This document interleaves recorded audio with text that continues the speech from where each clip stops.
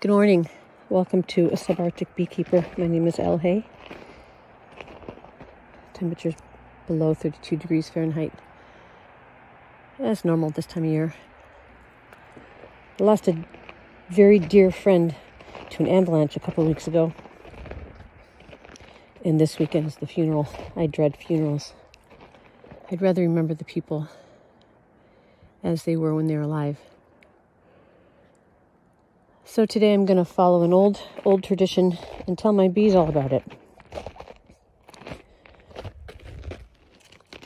Legend or stories have it that one of the old customs is to make sure that if a beekeeper died that you told the bees. And I kind of I want to tell them about her. If nothing else, it gets me to talk about it.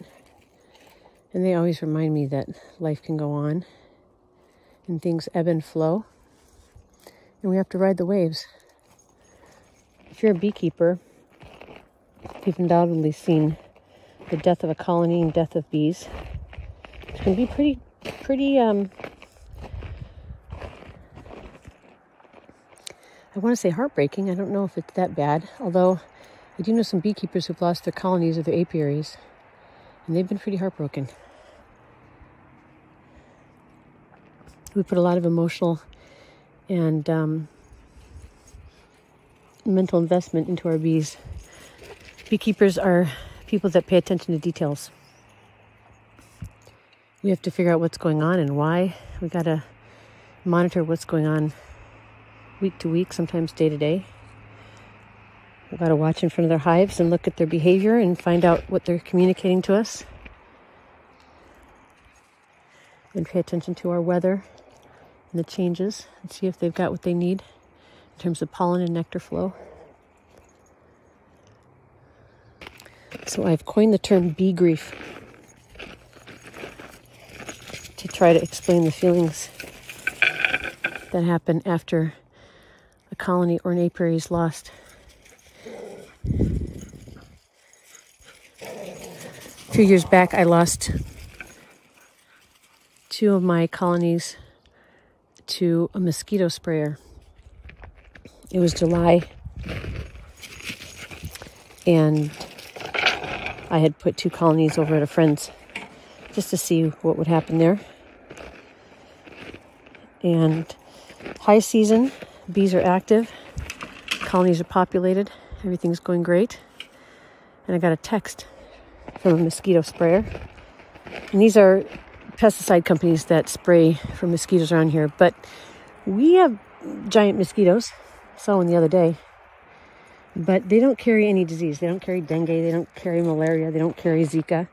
And so the mosquito spraying that goes around here is luxury only. We're used to fending off giant mosquitoes. That's part of what you get when you come to Alaska. Anyway, I had signed up to get text reminders from this company because I didn't really know what to expect. They had said that their pesticides were safe for honeybees. Foolish me. Insecticide means to kill insects.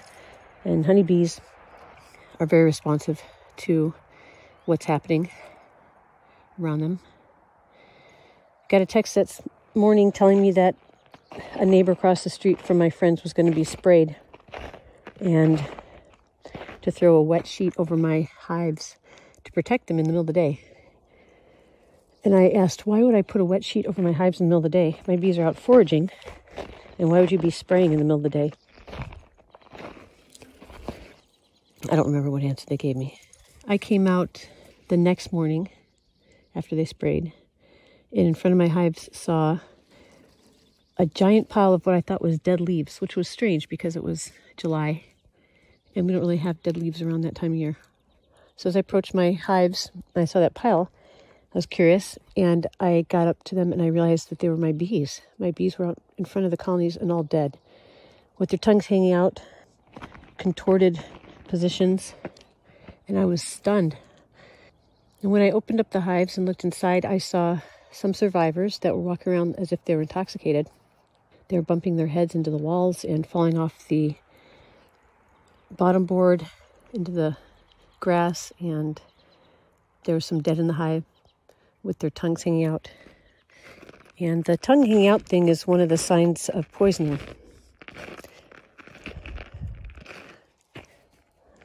Very long story short, I called the pesticide company and asked them to stop spraying, and they said no. And they had uploaded a video to YouTube to tell how safe their spray was for honeybees. And I got the material safety data sheet for the chemicals that we're using, and right on page two at the top of the page, it says lethal to honeybees. So I took samples, but it turns out it was too late because a lot of those pesticides, mosquito sprays particularly, disappear after three hours in direct sunlight. I took samples and sent them in along with some comb and some honey and some bee bread and pollen. So the labs could tell me what they found and they couldn't find anything. And it was because of that three hour window. That year and the following year on our forums a bunch of beekeepers join these forums and we exchange information and help each other out in 2019, we lost over 30 apiaries in our area to mosquito sprays. It was devastating. We would have healthy colonies, find out that there was a spray, and the next day their colonies would be dead or just about all dead. And as we shared our stories, we realized it was happening to a lot of us. So I got a petition going, did a GoFundMe to raise money to send other people's samples to labs if they're getting them within the three hour window.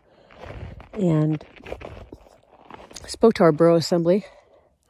We don't have counties up here, we have boroughs. And our borough's bigger than the state of Pennsylvania. And then wrote some letters to the editor to our local paper and spoke to the EPA and the DEC, who weren't very interested, and looked at the state regulations for pesticide sprayers and realized that the company was in violation of a lot of them. So I went and took it to the legislature. Alaska is a small town, and so we see our senators and reps in the grocery store. We live near them. We go to the same restaurants they do, etc. We have ready access to them, which is really wonderful. So the um, people in legislature were very interested, and got information and we proposed some things to put in place to help out. We also did a public education campaign. the mosquito sprayers had to put signs out in front of houses where they sprayed, say the name of their company.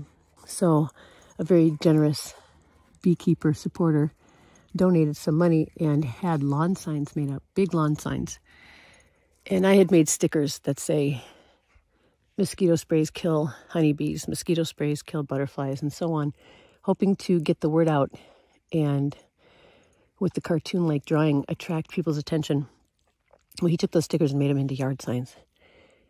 And we got them out all over from north of Fairbanks to the Denali Borough to Delta Junction, North Pole, all areas in between. And word got out. And it turns out the mosquito company was misleading their people by telling them all that it was safe for honeybees. But I think we were pretty effective in getting the word out. And I've noticed a great reduction in spraying.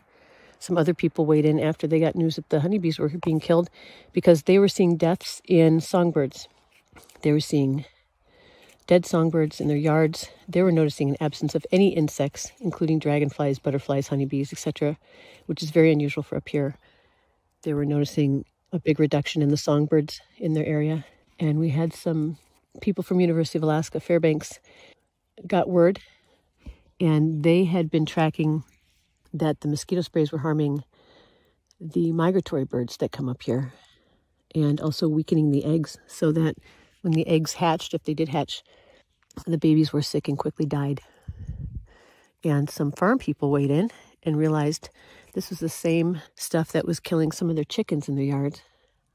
And some other community members weighed in that their pets had been sprayed, that sprays had been done, and the spray had drifted into their house with their open windows and such.